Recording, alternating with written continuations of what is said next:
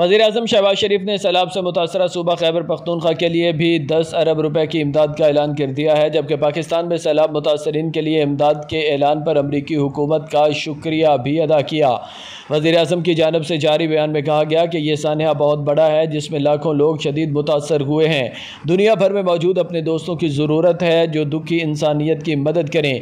दोस्त ममालक से दिन रात जहाज़ इमदादी सामान लेकर आ रखे हैं, जिसके लिए उनका शुक्रिया अदा करता हूँ। ほ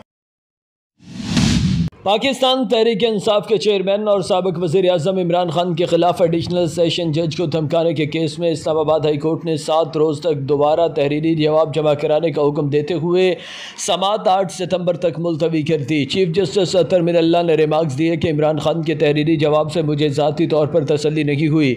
इमरान खान जैसे लीडर का जवाब नहीं है। इस कोर्ट के लिए सबसे अहम मातहत अदलिया है। इस्लामाबाद हाई कोर्ट के चीफ जस्टिस अतर मिनल्ला की सरबराही में justice Mohsin Akhtar Kayani justice Mian Gul Hassan Aurangzeb, justice Tariq Mahmood Jahangiri और जस्टिस बाबर सत्तार पर मुश्तबिल लार्जर बेंच इमरान खान के खिलाफ तोहन अदालत केस की समात कर रहा है, जिस दौरान चेयरमैन पी टी आई और सबक वजी अजम इमरान खान अदालत के रूबरू पेश हुए। अवामी मुस्लिम लीग के सरबराह और सबक वजी दाखिला शेख रशीद ने कहा है कि बिलावल ने एक घंटे में खरबों में चंदा लेकर दुनिया को एंगश बदंदा कर दिया।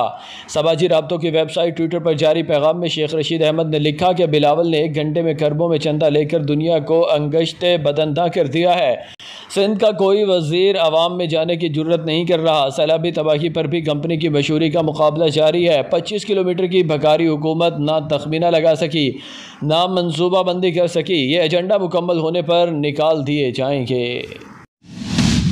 वजर ख़जाना मफ्ता इसमाइल ने कहा है कि सप्लाई की कमी और किल्लत की सूरत हाल देख कर ही भारत से फ़ूड आइटम्स मंगवाने से मुतल फ़ैसला किया जाएगा। मफ्ता इसमाइल ने कहा कि एक से जायद आलमी एजेंसियों ने भारत से फ़ूड आइटम्स लाने के लिए हुकूमत से रबता किया है और ज़मीनी रास्ते से भारत से फ़ूड आइटम्स लाने की इजाज़त मांगी है। वफाकी वज़ीर ने कहा कि इस मामले पर हुकूमत अपने इतिहादियों और अहम स्टेक होल्डर से मशावरत करेगी और सप्लाई और किल्लत की सूरत हाल देख कर इतिहादियों और स्टेक होल्डर से मशावरत के बाद ही कोई फ़ैसला किया जाएगा।